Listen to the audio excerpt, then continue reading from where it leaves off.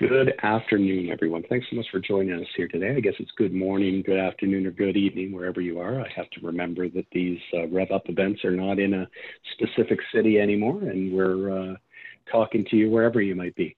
Uh, my name is Dan McKinnon. I'm the uh, National Sales Manager for Revizto for Canada. Um, with me today is Brett Settles, who is our Global uh, Customer Success uh, Director.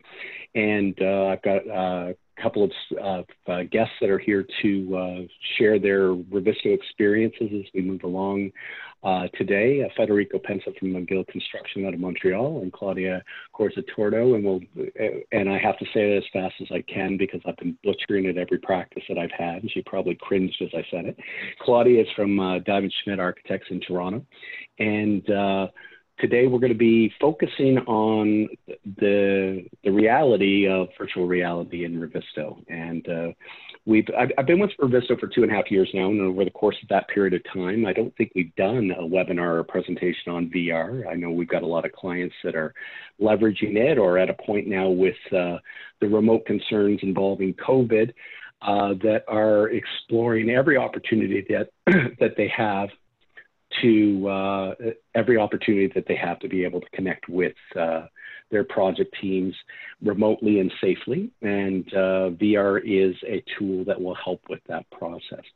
So today's agenda, let's see if my screen responds. There we go. Uh, so today's agenda, we'll talk a little bit about uh, Revizto as an integrated collaboration platform, what that actually means, how our clients are leveraging Revizto to communicate with their project teams. This is the seventh episode of this series that are focused on remote use in Revizto. And uh, we'll, we'll talk a bit about how, how that works. And we'll talk about virtual reality in Revizto and the specifics related to how we're a bit different than some of the other VR platforms or tools that you might be looking at. Um, or you might have used before. Revizto, the goal ultimately is to bring your whole project team in to work to communicate on your production uh, models. And uh, our access to VR is very much about that. Then we will have our panel discussion with both Claudia and Federico at that time. We'll, they'll talk a little bit about what uh, both their companies have done with Revizto, how they've utilized it, and with how they've uh, explored uh, virtual reality as a component of what of what they've done to communicate with their teams. Then following, excuse me, following that, uh, Brett Settles and I will be uh, participating in a VR demonstration. So we're going to showcase the workflow. Brett will be in the headset, and I'll be on a uh, on a shared screen and uh, be uh, exploring that in conjunction with one another and sharing that process with you. And finally, after all of that, we'll uh, address any questions that you have. We have a open Q&A, and uh, then following all that, once the recording is all over, we will uh, get into uh, another sneak peek of Revizto 5.0 where Brett is anxious to share what our development team has been working so hard on, our most ambitious update today. So with that set, that is our agenda. Uh, let's let's jump into things here today. Again, I want to thank you guys for taking time out of your schedules to come join us today because this is probably the most social interaction I'm going to get all day. So I appreciate it personally. So with that being said, why use an integrated collaboration platform?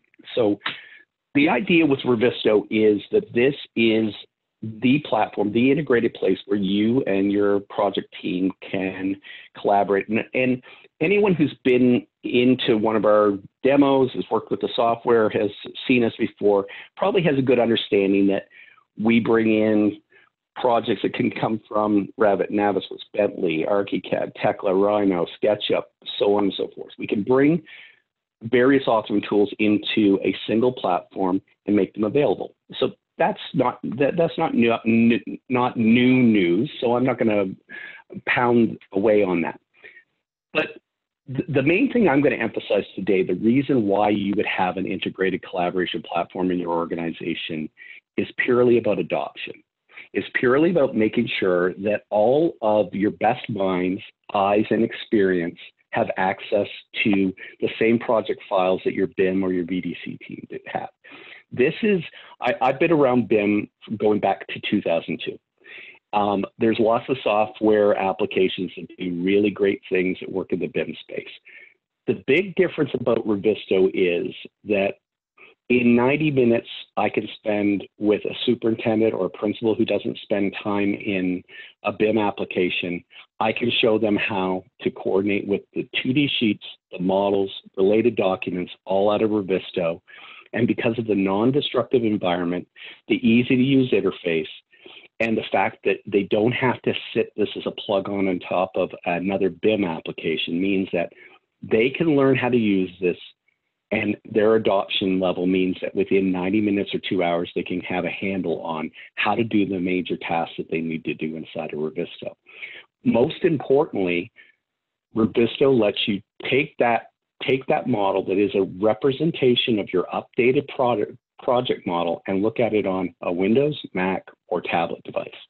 Additionally, that's where our VR comes in, is that ability in, to get that updated production model into the hands of the members of your team and then make it available in VR. We recognize that there are a lot of virtual reality tools out there, and there are a few things that kind of set Revizto apart. I don't think we have the same bells and whistles that some of these applications do, but that's not the point. The point is that Revizto is designed to be an integrated collaboration platform. We're trying to give you access to this model in as many ways as you can to be able to access this project and be able to see it even if you can't walk through the project in real life. VR is an added capacity to do that, a capacity to do a virtual walkthrough and do it from your production model. Not you don't need someone else to push another model out. You don't have to have another application to do it. You just use the same application that you're already communicating with your project team on, where your issues are going, your models are going, your sheets are going, and now you can jump into VR. And the uh, the important part, and you'll see this in the demonstration that Brett and I do today, is that I can hop on the headset. In this case, Brett will be hopping on a headset, and I can go into Revizto on my particular machine, and I can do a camera share with him and see what he is doing, and I can chronicle next steps as we're doing that all in real time. And we can do that with the whole production team. That's what we'll talk about here today, some of that workflow, and get into uh, some of the nitty gritty of working with uh, virtual reality out of Revizto. So, with all that said, uh, where this will lead to our panel discussion here today. So uh, basically, we're going to have uh, some conversation with Federico and Claudia related to uh, their Revizto experience. And then after that, Brett and I will uh, have a conversation with them about uh, their virtual reality experience, what they hope to do with it, and so on as we move along here. Uh, so with that being said, we'll talk a little bit about where Claudia comes from. Claudia is works at Diamond Schmitt Architects. Diamond Schmitt Architects, for those that don't know, is a is a major uh, design player in the Canadian market with offices in Toronto, Vancouver, and New York. Where They have leveraged uh, BIM to create some of the most beautiful spectacular projects that are being done across the world. Um, and I, it's one of those things that uh, I'm, I'm never, I never tire of seeing what, what new project and execution that they're going to perform on it. Uh, we've worked with uh, Diamond Schmitt now for 16 years, and uh, or sorry, since 2016. And uh, during that period of time, um, uh, Gary Watson, who is a who is a member of an associate at the at the firm, has had had a, a, number of teams come in under projects and has uh, given us an enormous amount of feedback, and they've been very uh, the feedback they've given has been very in, integral in how we have developed a lot of our design tools in Revizto. Uh, they've been an, obviously an early adopter and an organization that's leveraged uh, Revizto in a lot of different ways, probably different use cases that we had never even anticipated early on, and that gave us a lot of feedback. So you can see that they've made a real commitment over the course of time to use Revizto with 38 active projects right now. And you can see the number of issues, sheets, and attachments and reports they run. They use Revizto in a lot of ways, but uh, Claudia, as the Director of Design Technologies, came on board in November and had uh, she had, I've gotten to know Claudia a bit over the last couple of years at her previous firm that she worked with, and she had had some experience in working with a, a number of projects in Revizto on international projects where she had done collaboration in Revizto. So when she came on board Diamond Schmitt, she was very familiar with uh, with the platform and how it would uh, how it would fit into her vision of what she wanted to do with her uh, design technologies and uh, we we've seen a, a, plan crafted from that. So with that being said, I'm going to turn things over to Claudia a little bit to talk about her Revizto experience and uh, and how Revizto has fit in at Diamond Schmitt, and then we'll take a few minutes to talk to Federico and uh, and start our panel discussion at that point. So Claudia, if you wouldn't mind. Hi, hi everyone. Uh, thank you, Dan, for that introduction. Um, I'm glad to be here. Yeah, Diamond Schmitt, as well as myself, have been a fan of Revizto for a number of years. Oh, oh I lost my screen. Sorry about that. I'm okay. bringing it back right now. so, uh, so we've been uh, using Revizto for a number of years, and we always um, start every project with a, you know a BIM execution plan, and at that point is when we would introduce uh, the use of Revizto to not only the architectural team but to the uh, larger team, the uh, consultant team, and um, if people within the team, uh, internally or externally, are unfamiliar with uh, with Revizto, we would we would often provide training. We would go through a demo uh, to make sure that everyone's on uh, par with uh, leveraging the tool to its uh, utmost, as well as you know coming to to an understanding about how we're going to work together and collaborate within the within the platform. So um, always begin that way. Uh, we do a lot of uh, internal training just to, to teach everyone in the office how to use uh, all the tools of, uh, within Revizto as well as like updates that are that uh, seem to be and improvements to the to the technology. So like like most people, we implemented uh, Revizto to do the issue tracking and collaborate um, in one location. So that's something that you know we're always striving towards is you know moving away from a lot of fragmented communication via email with snapshots and all of this. Uh, I, you know, really like the idea of uh, uh, keeping everything centralized and transparent for the entire team. So we use it, of course, for issue tracking and coordination. And if uh, the co consultants, for whatever reason, do not uh, use Revizto, we still always um, use it internally. Um, we develop dashboards for each of our projects so that we can see the data, understand where we are with uh, uh, resolving issues, um, and customize those dashboards and, and, the project architect uses them to keep track of progress. Uh, we also uh, use, use it uh, for the actual consultant meetings, so we'll generate reports, um, uh, provide them to the consultant team, and then use Revizto in, in the consultant meeting uh, to navigate through the issues uh, and, and resolve um, items as they, they come, make design decisions and so forth, because it's uh, so easy to navigate. Um, you know, we primarily use uh, Revit as our uh, BIM, BIM authoring tool. Um, it's not always easy to, to work through, so Revizto is a great use case for that. And then um, we, we use Revizto to uh, uh, communicate with our clients. So typically we would prepare very specific uh, viewpoints and then use those viewpoints for discussion. So, uh, you know, it's a much more controlled uh, uh, communication with, with the client group so that, uh, you know, we're talking about very specific locations and we can create issues and do markups right on the spot. That's been very useful as well.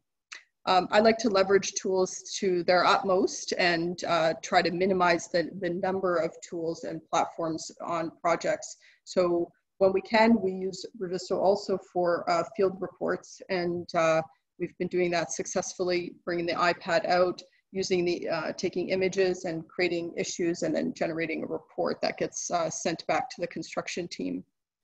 Uh, you know, in this, in this time of COVID, working from home, um, I've been encouraging and uh, developing workflows uh, to encourage uh, the project teams to use their iPads at home and do markups with stylus. That's you know sometimes much easier to do than using a mouse, uh, faster even uh, because it's all cloud-based. You know it's very easy to to um, uh, implement either on your iPad or on your computer, and the and the information's all updated.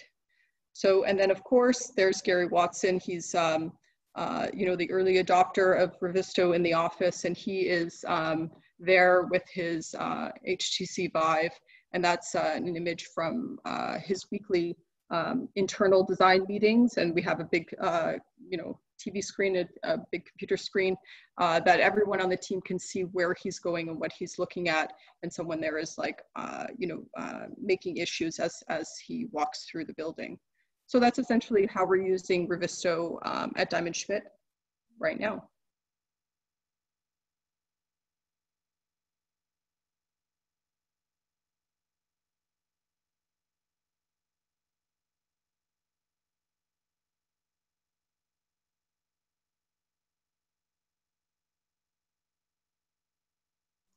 Are you on mute, Dan?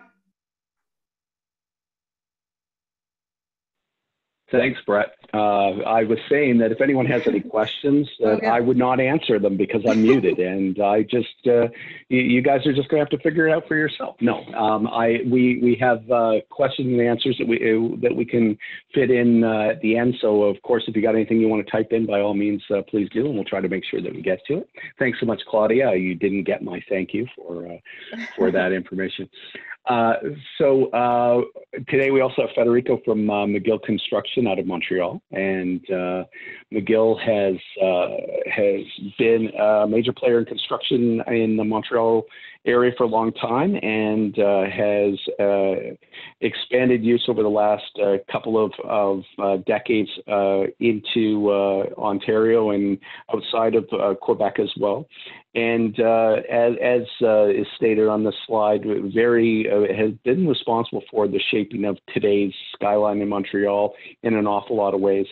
The the interesting thing about Magil, from when I first met Federico, and uh, got uh, I, I, first met Federico when he was at a CanBIM event in Montreal, and uh, the amount of commitment that this organization had made to go from a, a, a sort of cursory BIM and digital environment to a very sophisticated innovation in their digital in their digital practice is it, it's astounding when I've what I've learned about how far they have come and how much they've done in such a short while and they and the nature of what they're doing digitally to provide a better a better product for their customers to better communicate through the process. Their their engagement of Revisto aligned very nicely to the other aspects of their digital practice, and uh, and it's it's fascinated me as we've moved along here with uh, our relationship with Magil. Now, the here is here is uh, Federico, Federico looking all uh, all, all, suave. Uh, you know, this is uh, back in a time when he didn't have to stay uh, at, at, working at home uh, with his, with his wife and his little one. I don't think he's probably dressed like that today. but what what I'll do, Federico, if you don't mind, is you've got a video on your on the, the cardiac center in Montreal here, and I thought I would play that with the audio muted uh, while you talk a little bit about uh, about Magil and the Revizto use and that particular project, if you want. Does that sound all right? Sure. Thanks. Uh, thanks, Dan, for the introduction. Thanks for having me. And most, I'm not, I'm not dressed like that. Most definitely not right now.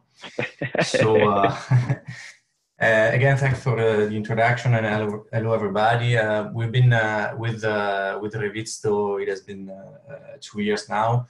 We've been uh, investing in BIM and using BIM technology for uh, more than three years now. So back in the days, uh, uh more than two, years ago, when we I met with uh, with Dan, we were looking for a, for a tool for a, a kind of platform to uh, improve collaboration with all the company we work with. As as a general contractor, we we subcontract most of our job, most of our, of our our work so uh, the uh, external collaboration with uh, with tenth of company, it's it's crucial. It's it's a very central aspect of the of the project management. Um, we're, we're, talking about um, several companies per project, and a, a, good part of those companies they they they've been starting using BIM on um, more and more. So yeah, um, uh, we've been very very happy with the. We try to use uh, uh, and leverage the most of it uh, every day. our first use of Revizto was about improving collaboration and coordination, mostly mechanical coordination we've been dealing with uh, with the first three or four uh, BIM uh, contractually mandated BIM with with 3D model. so we we needed um, a tool for our BIM manager, and uh, Revit has been uh, answering uh, our needs very very well. Uh, but we soon realized that actually there there there, there were more there was more in the in the platform than than only coordinate 3D coordination. Uh, so first of all, one of the one of the things that I appreciated the most is the ability to go mobile. Uh, that's something that we've been investing uh, massively uh, since uh, since the beginning of my role as a BIM director. So all our field um, teams they all have been equipped with with iPads and, and tablet, and the ability, the possibility to use to navigate the 3D model directly on site has been proved effect right away and um, there's been some challenge uh, regarding training and uh, and uh, the need to to ensure a, switch of mentality. our superintendent, our safety agent, our coordinator, those all, all of the employees they're great guys with uh, with several years of experience but they they were uh, most of them they were at the first experience uh, dealing with 3d model so uh, the usability of Revit is uh, another thing that we appreciated most. Uh, it's uh, relatively easy to use uh, Uh, on, an, on an iPad. It's, uh, it's uh, really quick to uh, jump on and use it right away. particularly, I'd say the, the 2D, 3D integration, that's, that's, that's something that always causes a wow factor during the training. all those superintendent, 50 years old, 50 years old, that struggling with uh, with new technology, but uh, the, from the moment they see that you're able to jump from a 2D to a 3D, or even better, superpose the 2D contractual document 2Ds uh, with the 3Ds, uh, they immediately want to know more, and they right away they start using using it. So um, uh, the application they, they went. Uh, um, Uh, we, we, started using uh, uh, for quality uh, quality uh, insurance, safety insurance, the following up the, the, the advanced the, the, the, scheduling in the field. And yeah, I I'd like to mention also the ability to integrate uh, point cloud and LIDAR. That's something that we've been using a lot. Uh, we, we've been, uh, we, we have our own laser scan. So we're using and integrated in, uh, in Revizto so that give you the ability to uh, really comp uh, compare the, uh, the project, the 3D project to the actual condition. And uh, one of the last tool we, we've been implementing, it's, it has been the, the virtual reality. So the topic I'm being, I'm here today to discuss. so I think that covered it all.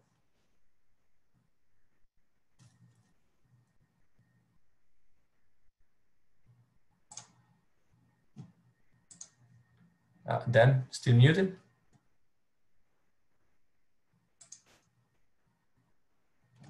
Sorry, my uh, quick key is not uh, is not unmuting me. Uh, thank, thanks very much, Federico. No, uh, that's a great segue into the VR conversation here. I thought I put this up on the screen. Uh, we had a question in the in the chat about uh, the devices that we support in uh, in Revizto, and uh, they're up on the screen now with a picture that Magil ha- has kindly shared of the the application being used uh, in the office for VR. So one of the things, if you've met if you've met Federico at an event that Magil uh, that, that Magil is attending, usually he either has a headset on his head or he's putting a headset on somebody who's never had a headset on before. And uh, the VR has been a key part of what uh, of, of uh, one of the differentiators that uh, Magil sort of leads with at these events that makes uh, that that sort of creates a buzz around his uh, his table and brings people to him to learn more about what it is that Magil that Magil does in general. So um, you, have had you've had it now for a while, Federico, and uh, you've been utilizing it. So what, what are what are some of the use cases for you of VR? And then we'll get into a back and forth here conversation with all of us. Yeah, sure. Uh, let me first uh, explain to you how we, we arrived to use uh, VR the first time. So we, we've always been interested in virtual reality as an innovation, as a technology we, we, we, we were interested in.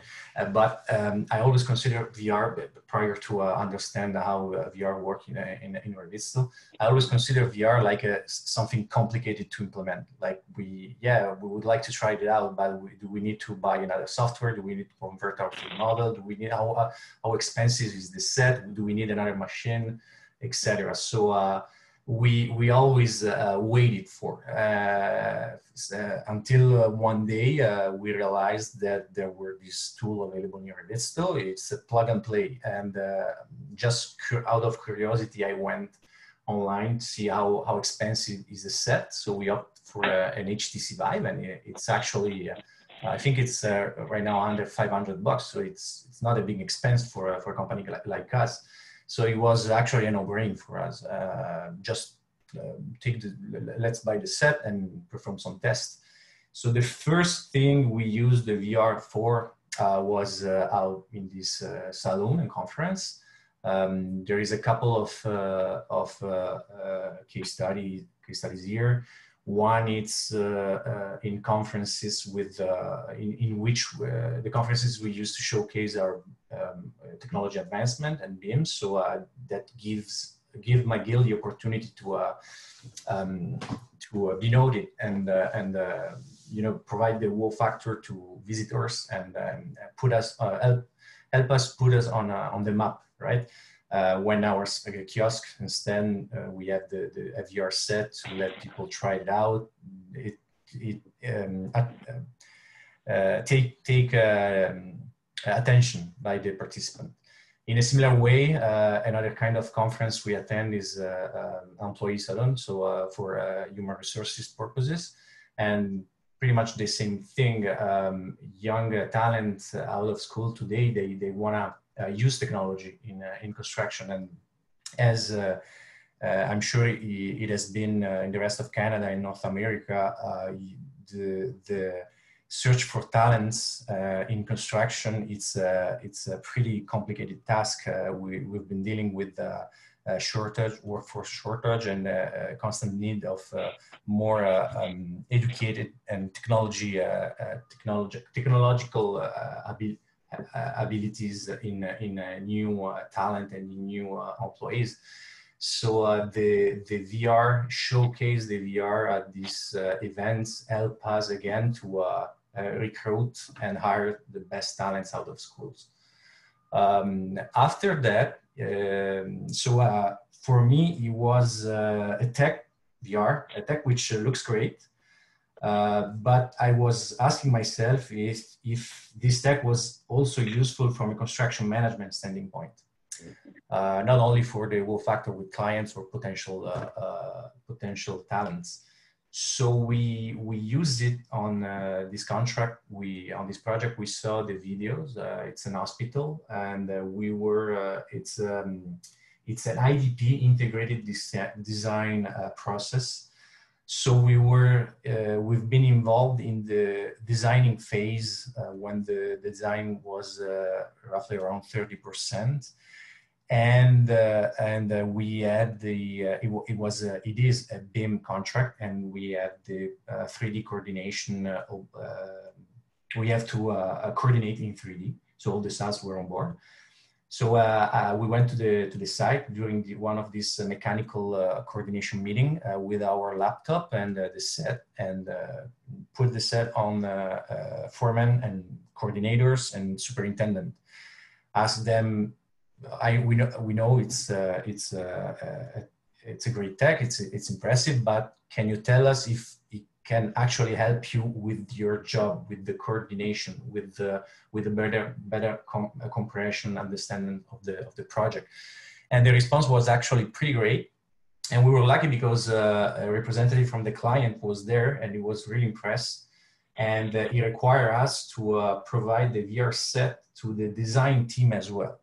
So we continue use the, the VR in this coordination meeting and uh, it's proved uh, very helpful for the team.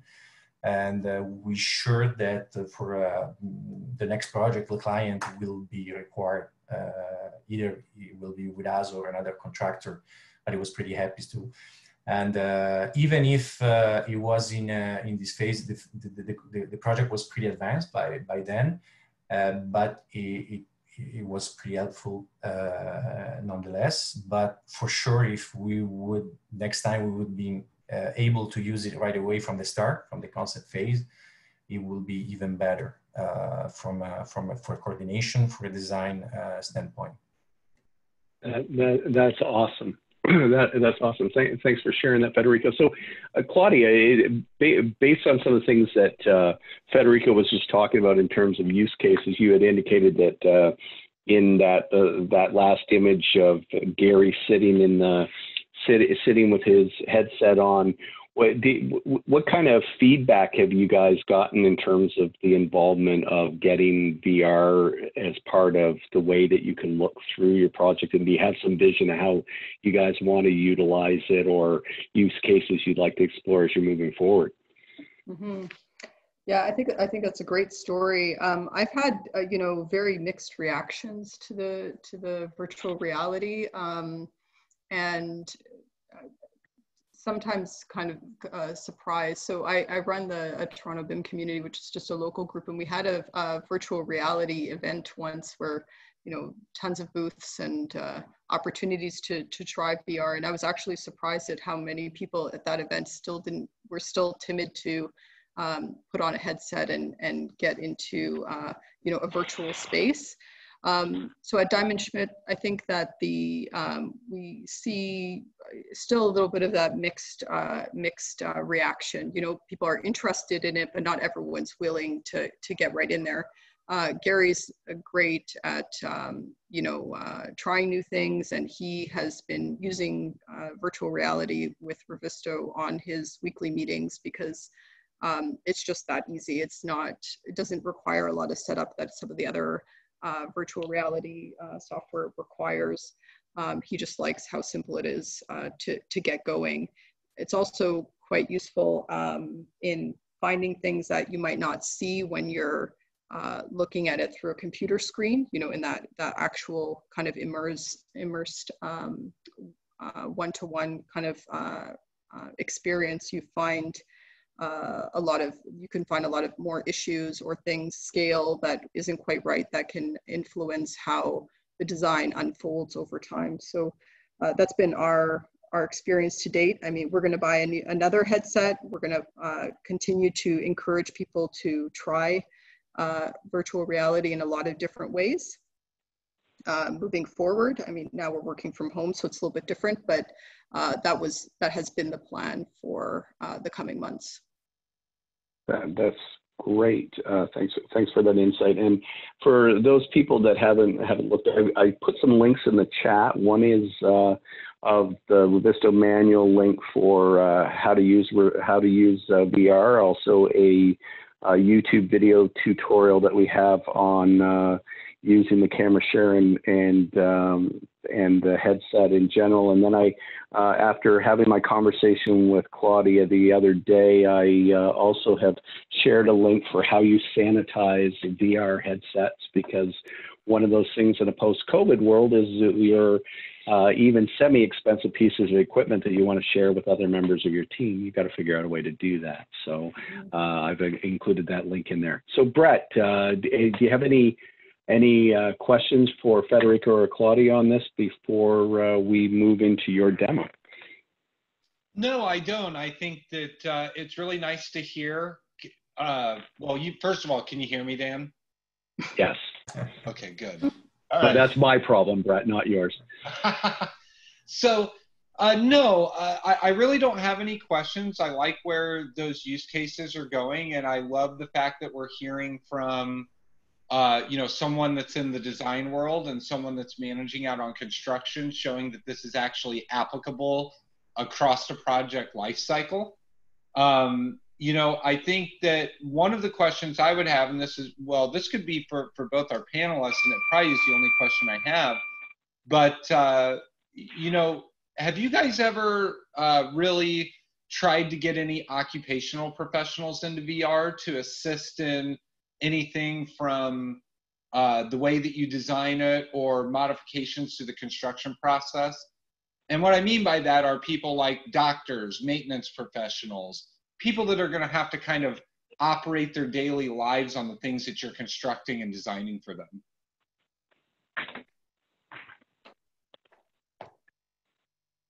Uh, I can uh, I can start. So uh, it's not for uh, my, my, my answer is uh, is not yet. Uh, it's something that I, I would definitely like to use in case of design build project. we don't we don't have a design BIM design build project which involve BIM right now, but it will definitely something that I will put to the to the service of the team and uh, we we don't have the kind of control of the hospital project I was talking about, but it's something that we uh, we uh, we discuss with the with the client for future project. Uh, in other way, uh, in uh, other in other in other words, we're telling them you should use it for your next project. It's not up to us. We don't have that kind of contractual obligation, but you should use it or, or mandate for your next project. So definitely something that I can see the the uh, the advantage. Awesome. Yeah, and, and the reason I asked that question is because you know when we talk about VR, one of the things we think about is how we can have people experience the space. And I, I, just find that to be such a good use case, but I do see that across the industry it tends to be underutilized. So uh, yeah, not meaning to throw a curveball at either of you, but that was something that very much interested me. Yeah, I think uh, like I'd like to see VR moved up the up the process. So you know we're looking at it as you know kind of post design, you know a, a review of the design. Um, I'd like to see uh, us using virtual reality to design, and uh, I think that the um, having stakeholders and user groups use leverage the technology as well to test certain things. I mean, the hospitals that we work on are perfect uh, use case for that. We do have uh, quite a number of IPD projects where the owners are, are uh, heavily involved. So uh, yeah, I'd, I'd, love to uh, have that start, but we're, we're not quite there yet, but definitely is in the um, roadmap. Awesome. But, but you know, Brett, yeah, uh, thanks. I, oh, sorry. Go ahead, Federico. If I can add, um, a couple of projects we used VR for coordination, for mechanical coordination. Uh, actually, we're coordinating mechanical rooms, and the, the, the superintendent, uh, the, the, subs, subcontractor superintendent that were there, they used VR not only to uh, check on coordination, they actually were able to uh, check if uh, a particular control panel or a valve were accessible. So in a way, I, I, I'd say we already tested that use, and it's something that really uh, it's um, specific to the VR, uh, since we, you're, you're able to ensure 3D coordination with with Navi's worker and, we, and alone. But as you said, the the ability to walk the room, a mechanical room, to actually see the room in, as, as, as if you were there, they give you the perspective needed to uh, check if uh, if the uh, uh the access to the, uh, the, all the systems uh, are optimal and if we need to change something maybe. Yeah, that's. I think those are all really valid points, and it's something that we've we've heard the feedback from you know people in an operating room, the getting the getting the doctors, nurses, and specialists in there to see that the equipment is within reach and logically set up next to one another. Things that they may, may not necessarily have seen in a non-VR environment. We've seen it with arenas and stadiums related to sight lines and related to uh, the what what the end user experience should look like and feel like. And I think that that that is where especially in the case of Revizto's VR is not a bells and whistles VR that is uh, about to um, try to uh, hit you with sizzle and and uh, and scorching imagery, but rather legitimate production models that people can get in and say, hey, does this work for the intent that it's des- that it's uh, been designed to do? So I think all that really uh, lends lends well to that. Well, I really want to thank you guys for joining us today and for your feedback on this. I think at this point, I'm going to turn things over to Brett and we'll get on to uh, into a VR session so that people can see it in action. Um, thanks again, uh, Claudia and Federico, for your for your input on this. Thank you, uh, Dan. All right. Can everyone see my screen okay? Uh, Ken, that giant 4K screen with all those tiny, teeny tiny little tiles. Yes. So, yes, uh, my uh, for everyone watching, my computer, uh, my VR station is hooked up uh, in my living room where I use my TV as a monitor to do these things. So, uh, you're not going to have this sort of itsy bitsy user interface whenever you're working on a monitor. So just keep that in mind. But it's something that most people don't have that many pro most people don't have that many projects either, Brett. That is true. Uh, that is true. And heck, I even still got room to scroll. So, um, yeah, what I wanted to talk about is, is I want to start this demo off very, very from a, from a simple standpoint. And then Dan and I will move into some more of the advanced things that we're doing. Uh, first of all, we want to talk about how easy it is to get a Revizto project open in VR. And simply put, the only thing that I did to get the, to this point where I'm operating in the Oculus app, and as you can see right here, indicated that I am in the Oculus Revizto app, is I simply click this button instead of this button. So when we talk about plug and play VR, we mean that there is no dead end workflows, there is no preparation. This model is not operating in a silo anything that you do in VR, any changes that you dictate, any issues that you raise, um, anything like that is tied directly into the coordination process, whether that's design coordination, design review, construction coordination, or even uh, field applications out with our iPad. And that's one of the things that we like to really focus on is how integrated the VR actually is.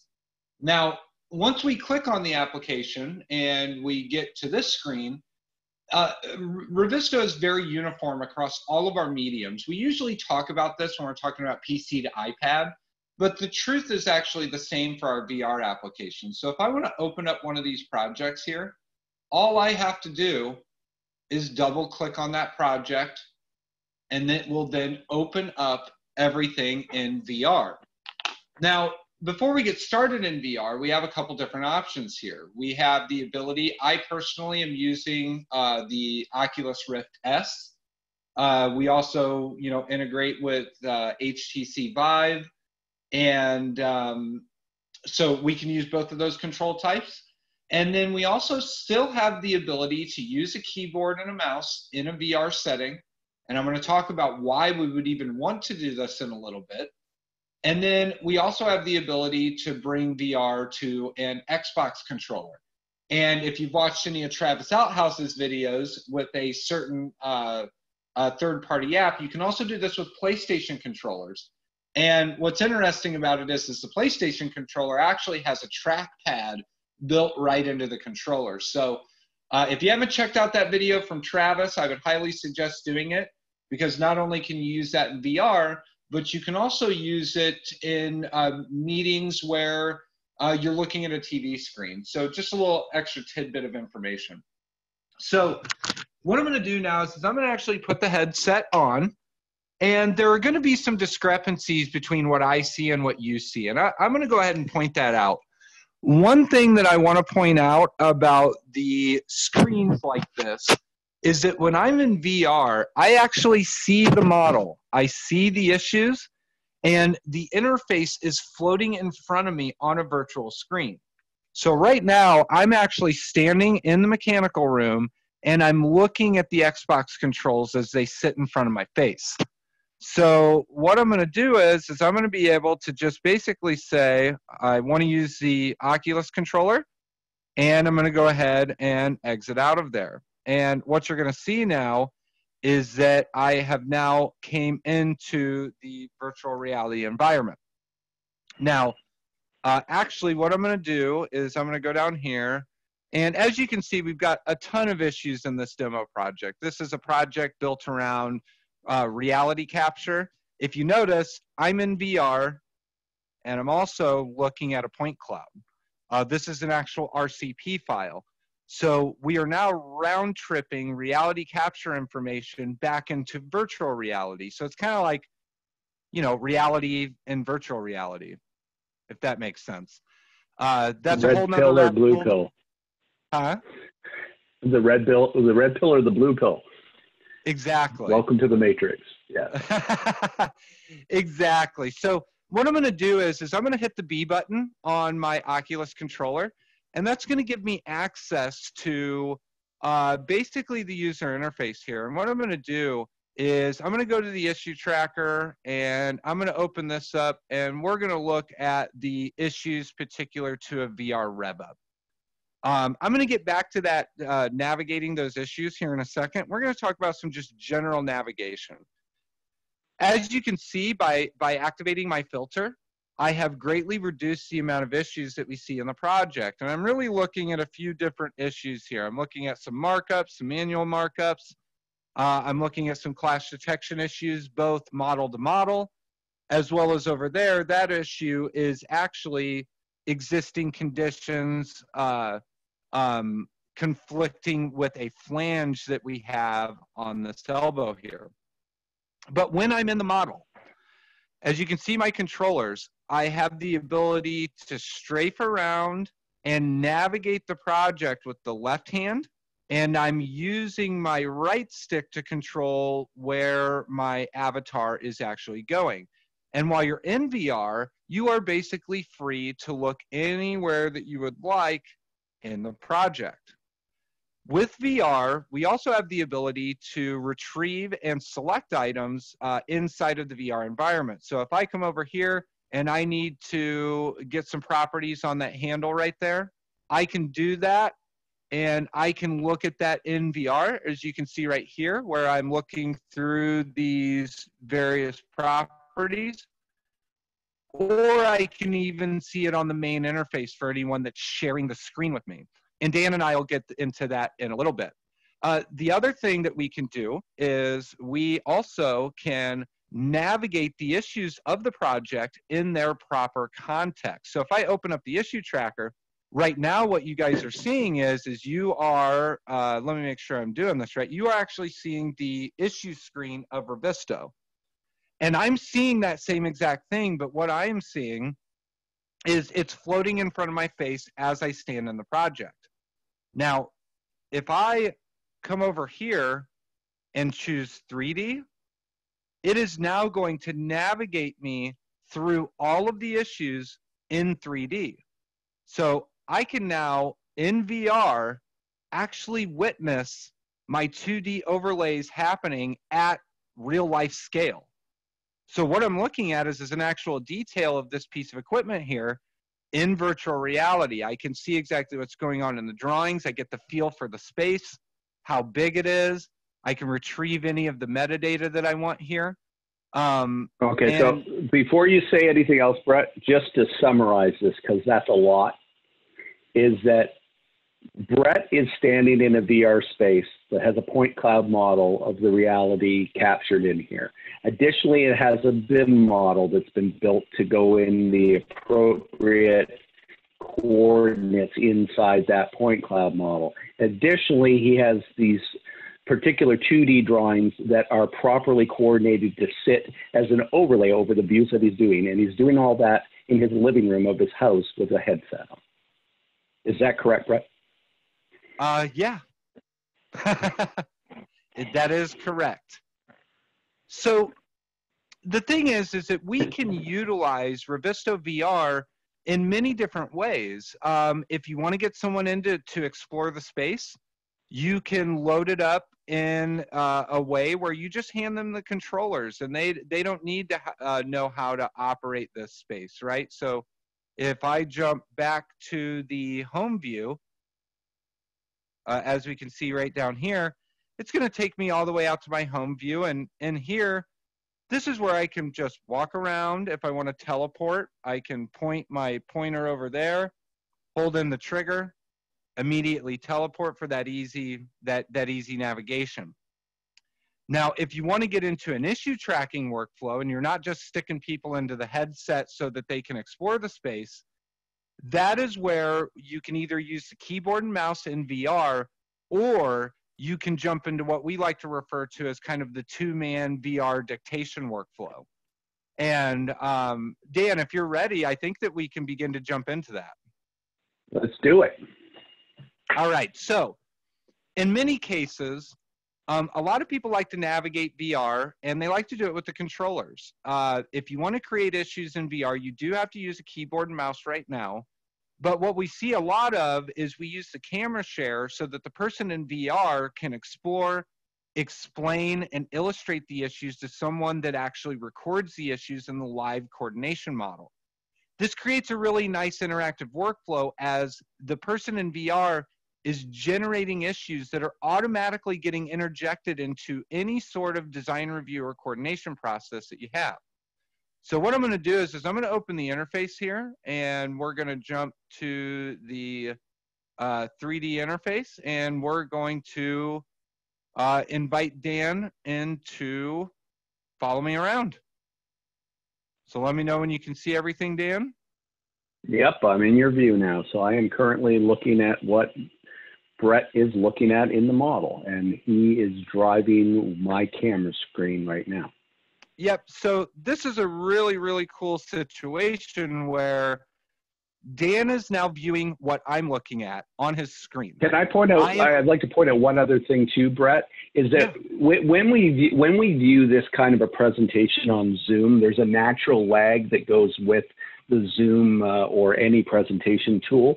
But when I am being walked through this right now from Brett's perspective, this is smooth as though he were connected to my computer with an HDMI cable. In other words, it's very similar. If you come from at all a video game background, the model's already loaded up in my Revizto and it's loaded up in Brett's Revizto as well. So really all the software is doing is communicating the camera, the camera view, and the X, Y, and Z location in the model, whereas the model is all here. So I don't have that kind of lag, and I'm getting a real time interaction as Brett is walking me through this project. Absolutely. Yeah, so th- this is a situation where you get a two man team for review. You know, little details like some things that may be going up on here are very easily lost in a computer screen, right? like when I look at this, maybe I can't find an exact answer or an exact problem because we didn't point it out. But I mean, right here, that seems to be an issue, right? We've got the pulley, we've got the chain actuated pulley uh, dealing with this valve right here. And when they go out to install this pulley, they're going to find themselves up against this existing system right here. So what I'm going to do is, is I'm going to say to Dan, Dan, this is something that was completely missed through design review. It was missed through clash coordination somehow. But now that we're in this interactive environment, we can easily see that. So now what Dan can do is he can begin to create an issue in front of my eyes, letting me know that this is now documented. So Dan, I see you're requesting. Yep. All right, so, so I'm going to give Dan control. And now I can see Dan's avatar moving around in VR. Now he's not controlling what I'm looking at. I can actually see where he's located uh, with a marker. And I know that you guys can't see this. It's almost something you'd have to experience. But what Dan is now doing is, is he is recording the issue that I found in VR and communicating that to everybody on the team and keep in mind at the same time, uh, he is, uh, all of that is being reported automatically through our reporting system. And I wonder, Dan, should I take the screen again real quick or so well, that they right can see now, how this is working? Yes, for sure. So let me I let me take use... that set off real quick and let me share from my end. So I'm going to go ahead and share my video. All right, so there's Dan right there. And actually, what I need to do, Dan, is make sure that you tag the issue with the, the VR tag that I have. Okay. Otherwise, it won't show up. So I can see Dan right there. He's selecting the item. What's that under here in the, where did you throw that to new so if you if you go to add a tag and you search for VR, it should rise right to the top.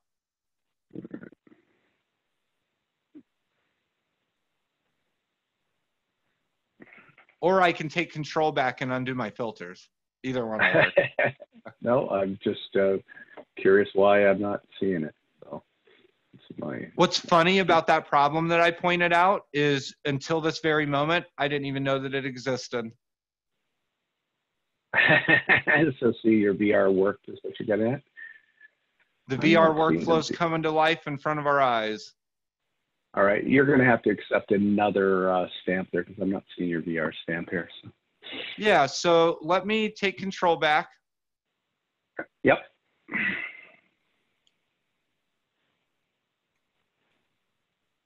All right, so I got control.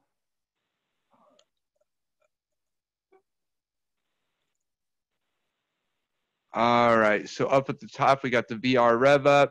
So it's under VR presentations. So let's go all users. Well, there we see it right there. It's just mixed in with everything. Gotcha. Yep. So if I go all the way to the top, oh no. What's the issue number, Dan? Um, I, I can't get at my screen because you are in control of it. Ah, okay. So I'll, So anyway, let's do this. I'm going to get out of here. And a little bit of a hiccup on our part. I should have told Dan about the tags before that I was planning on using, and I did not. So that's my fault. But well, surprise, surprise. I know. I try to be perfect, but it doesn't always work out. As you can see, Dan has highlighted those issues, and there is the issue that Dan created. We can see it over there in the interface, and you can see it right there. And now I can see the markup that he provided for me or for the team. And we can always go back and navigate that in 3D, or we can even see in VR where exactly this problem exists on any of the drawings that are related. And there you can actually see where that uh, chain actuated valve is, is hitting that piece of existing conduit. So really, really powerful workflows for uh, actually integrating VR into an actual review process with reporting. And and in in probably in most cases you're going to try something like this. As Brett and I were talking about this earlier as we were setting things up, you know, you probably would set up a stamp or a specific tag for this for this particular session that you're going to be doing, so that the per, the person or people you could have camera share with multiple people, but the person typically who's going to go around and chronicle this in in conjunction with the VR person driving it is likely to go through and and stamp these quickly through the course of this and then be able to go and filter those afterwards to add any additional context. But that allows them to keep up to speed with somebody walking through the project. Anything you want to add to that, Brett? Yeah, I mean, you're exactly correct. And it was kind of a, a good segue into the more navigation stuff, right? Like, I mean, clash detection. Oh, look, here we've identified these flanges that are, that are, um, you know, colliding with this existing conduit. It's just a, you, know, we, as Dan said, we may not go tool for tool with most VR things, but we do, everything that we do is extremely practical and ties into the overall goal of what you're trying to do with a project and completely included in the package. Yeah, and I think it all it all stems back to being part of an integrated collaboration platform. Anything, any final notes that you want to make on this before we go into questions on this, Brett? No, I, uh, you know, these are really the things that, that I wanted to point out is how it integrates with the project and the different use cases among, you know, occupational professionals, owners, designers, multi-user use cases. Um, and, you know, showing that we can, you know, pull in that reality capture, put in those 2D details and give it to you all at scale, um, you know, in a virtual environment. Perfect. Well, thank, thanks a lot, Brett. And yeah, the only question we had was uh, was answered directly afterwards that uh, can you interact with the issue tracker in VR? And then I think you showed it literally that within five seconds of that question being asked. So, um, yeah. So again, it, it is the question of the of the tandem use. I think the thing to it, it circles back to something Federico said earlier that. Uh, that this is an opportunity for you to get into VR without having to custom build a specific model that is going to be used for VR specific purposes, but rather recognizing that the typical workflow in Revizto is that you have this collaboration and coordination model that you're referring to on a regular basis is constantly updated so that when you jump into VR, it's going to relate to the exact same model that you're using for your collaboration and coordination other than that. So I, you know, I think that that's that it's the the sense of the easy aspect of jumping into VR. And I think that, like like Claudia pointed out, I think you're going to find that different people are going to respond to it differently. Some people jump into it and immediately recognize the benefit that it brings to the table in terms of of showing you a different facet of uh, of the project and be able to see things like you just pointed out, Brett, in a model that you've been in and out of for all that time, you just saw a problem you hadn't noticed before. And I think that we, we get a lot of that feedback around access points, around being able, someone who's actually able to put their head through a wall or get around an aspect that they would never be able to get above in in the actual model and see it from that vantage point and understand the issues that might come to maintenancing that after the fact. So with all that said, I hope this is a great introduction into, into Revizto's VR. Um, by all means, if you have more questions about it, you want to you want to discuss how you can leverage it, please reach out to us. We'd be glad to walk you through that and see if we can add this as another tool in your arsenal of being able to collaborate with your project teams. Uh, we our final session of this remote BIM uh, session happens on June 16th, where we will actually be talking about the reality capture workflow. Uh, Mark Jones and I think Brett, you're in that as well, right? Uh, we'll be talking about the specific aspects of dealing with point clouds inside of Revizto. So again, one of those key differentiators. And we're finding right now with COVID and restrictions to on-site access that VR and point cloud integration are two things that are really helping people to be able to keep in line with their with their site reviews, even though they can't particularly get to get to that point. Uh, I, again, I want to thank uh, both Claudia and Federico for taking the time to join us today. Uh, both both uh, of these individuals are, are uh, first-class people that uh, are heavily involved with the with BIM in Canada and work for two visionary companies, and uh, I'm very, very thankful that they had the time to join us today, and I really appreciate them taking time out to share some of their story with us.